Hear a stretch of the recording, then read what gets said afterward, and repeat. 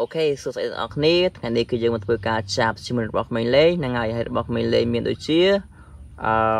rhino elephant giraffe អឺ dinosaur and lion តែមុននឹងចាប់កុំភ្លេចជួយជួយជួយចុច subscribe នេះមួយផងដើម្បីទទួលបានវីដេអូថ្មីៗតទៅធ្វើការចាប់ទាំងអស់គ្នាត OK ត let's go ឥឡូវយើងធ្វើការចាប់ជាមួយនឹង rhino មុនហ្នឹងហើយ rhino នេះគឺ rhino បែបលក្ខណៈ shoot shoot អូខេហ្នឹងហើយបើសិនជាបងប្អូនទិញអី ទិញ Rhino នេះមកវាអត់ខុសទេបងប្អូនគឺ baby ancient trend ចូលចិត្តលេងដោយសារវាទុនហើយវាលក្ខណៈស្វិតស្វិតហ្នឹងហើយងាយវាងាយបែកហ្នឹងបងប្អូនហ្នឹងហើយបើសិនជាទិញមកវាងាយបែកទេហើយពួកហ្នឹងគឺវារឹងស្វិតអញ្ចឹងណាអូខេតើធ្វើការដាក់ទៅហើយយើងមកចាប់អានេះគឺពពួកអឺ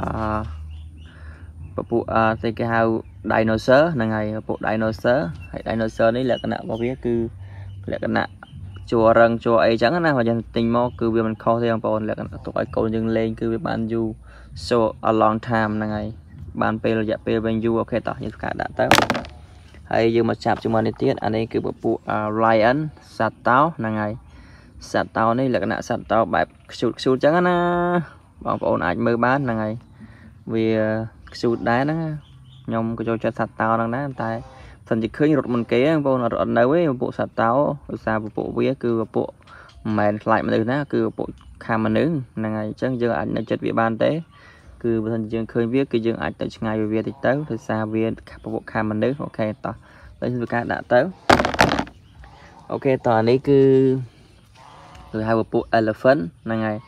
សត្វ elephant ក៏ពួកសត្វមួយដែលថាកាចសាហាវដែរហ្នឹងហើយ សត្វ elephant ក៏ពួកសត្វមួយថាពួកសត្វកាចសាហាវដែរវាមិននេះទេអាហ្នឹងគឺអាចរត់ជាប់មនុស្សងាប់ស្លាប់បានហើយពួកមកវាបុកក៏អាចឃ្លីពោះមនុស្សឃ្លីអីចឹងណាហើយតោះលេងស្កាត់ដាក់ទៅអូខេហើយអានេះគឺពពួកអឺគេហៅ drag ហ្នឹងហើយ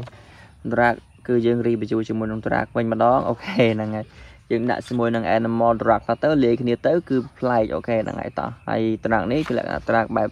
ជូតខ្ជូតត្រាក់ដឹកដីលក្ខណៈបែបក្មេងៗចូលចិត្តលេងអញ្ចឹងណាពួក baby អឺ live ពួក baby live play អញ្ចឹងណាចូលចិត្តលេងអូខេតោះឥឡូវធ្វើការដាក់ទៅអូខេហ្នឹងហើយហើយថ្ងៃហ្នឹងគឺយើងចាប់បានតែប៉ុណ្្នឹងទេអូខេហើយវីដេអូហ្នឹងគឺមានតែប៉ុណ្្នឹងបងប្អូនបាយបាយ